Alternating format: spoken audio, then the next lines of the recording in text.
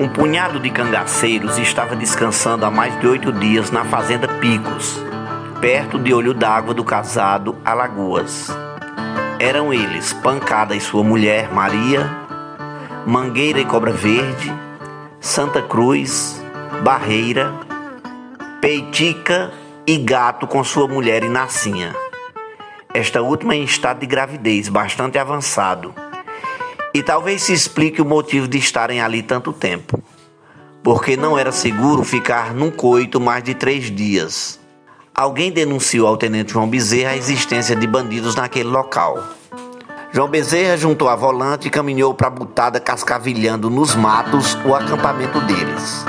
Estava perto do meio-dia quando escutaram um grungunzado. Aproximaram-se, já vendo o movimento, querendo se chegar mais, mas aí um cachorro latiu alertando a cabroeira.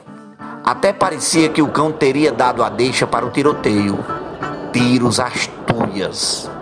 Os cangaceiros estavam em desvantagem numérica e optaram por abandonar o palco de luta. Inacinha ganhou um balaço na perna superior da coxa direita e foi presa, enquanto o restante dos companheiros fogem. Esta situação deixou o gato com um ódio terrível.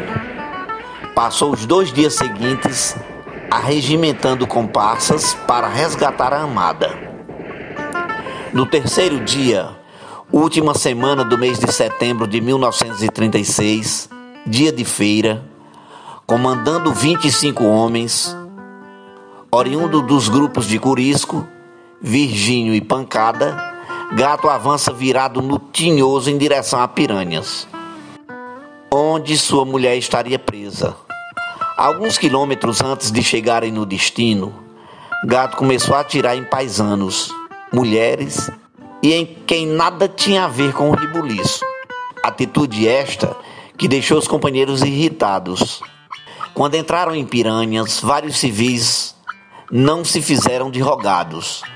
Juntaram o que pôde dispor, bacamartes, espingardas, soca-soca, somaram-se aos poucos soldados e afugentaram os invasores, que debandaram com o gato ferido nas costas, sendo carregado numa espreguiçadeira por dois de seus rapazes, indo falecer adiante. No espaço de tempo de dois dias entre Inacinha ser baleada e capturada e o assalto de gato, a volante do tenente João Bezerra obrigou-se a parar numa estação ferroviária, deixando de seguir para Piranhas, conduzindo a prisioneira.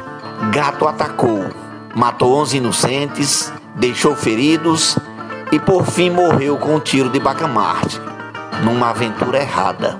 Para fechar com chave de ouro o trágico fim do cangaceiro apaixonado, a estadia de dois dias na estação foi o tempo suficiente para Inacinha se apaixonar pelo soldado pé na tábua, com quem viveu o resto da vida. Essa história tem um desdobramento que merece ser lembrado aqui. Após essa empreitada, a repressão da volante dobrou em cima dos cangaceiros. E Virgínio, com sua mulher, Duvinha, acompanhado de seus cabras, pisando até os sertões da Paraíba, abrindo algumas investidas nos arredores de Monteiro. Retornando, passando por um lugar chamado Rio da Barra, em Pernambuco, uma volante abre fogo nos cangaceiros e Virgínio é morto. Sua mulher Duvinha chora desesperadamente durante quase uma semana e em seguida dobrou-se aos consolos e afagos do cangaceiro moreno, que era da Paraíba, e os dois sumiram no meio do mundo. Em outubro de 2003, o autor desse texto, Anildon Maio Williams de Souza, estava em Salvador, na Bahia, fazendo o lançamento de um dos seus livros, quando recebeu a visita de uma pessoa, de Paulo Afonso. Era a senhora Hilda Gomes de Souza, irmã de Durvalina, ou Durvinha, como era comumente chamada por seus entes queridos. Ele conta: Fiquei profundamente feliz em conhecê-la. Disse-me que viu uma matéria no jornal falando de minha presença na capital baiana. Aí veio me ver, que estava ali para tratamento de saúde e que no tempo do cangaço sofreu muito com a polícia espancando e humilhando toda a família. Que seu pai chamava-se Pedro Gomes e sofrera tanto nas mãos de um tal tenente Francisco Mourinho Dourado, na cadeia de Jeremoabo, na Bahia, que suicidou-se. Sem falar nos prejuízos materiais, fazendas destruídas por incêndios criminosos provocados por policiais, o gado foi roubado pela própria volante e tudo foi perseguição e luto.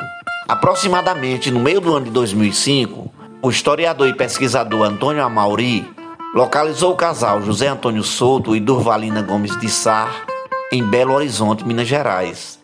E para surpresa de todos, esse casal idoso é nada mais, nada menos que Manuel Moreno e Durvinha foram uma grande surpresa para todos os estudiosos do assunto.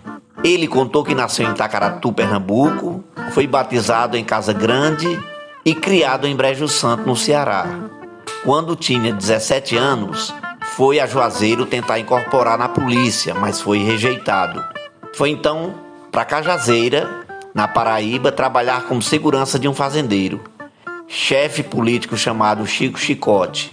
Certo dia, os cangaceiros liderados por Virgínio, cunhado de Lampião, passaram por ali e o convidou para seguir estrada com eles no cangaço e ele topou.